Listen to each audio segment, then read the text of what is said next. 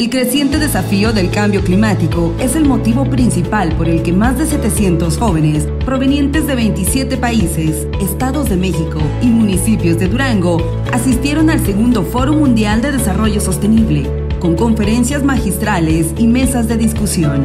El Estado como anfitrión concluyó en el aprendizaje de los jóvenes, principalmente. Me da mucho gusto ver a los jóvenes.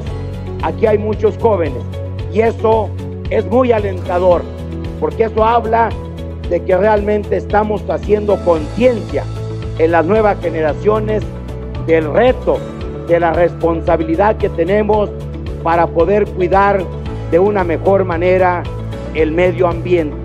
Exponentes desde Australia, Eslovenia, Ecuador, Japón, Chile, República de Malta, Estados Unidos y más lograron sembrar objetivos y estrategias en los jóvenes para coordinar acciones por el bien de la tierra.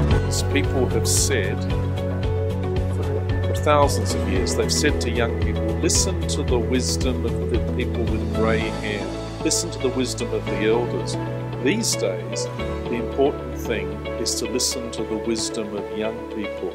This is the planet they will inherit. This is the planet who will inherit the mess created by previous generations. Para las Naciones Unidas, eh, yo creo que es el grupo poblacional más importante porque representa el presente y el futuro. Es bien importante para los jóvenes de México ser el portavoz del cambio a un modo de vida mucho más sostenible y más duradero y que tome en cuenta el respeto y los límites que tiene el sistema planetario y la naturaleza per se. Jóvenes estudiantes de Geografía Ambiental, Química en Tecnología, Gestión y Economía Ambiental y Energías Renovables fueron inspirados para proteger nuestro planeta.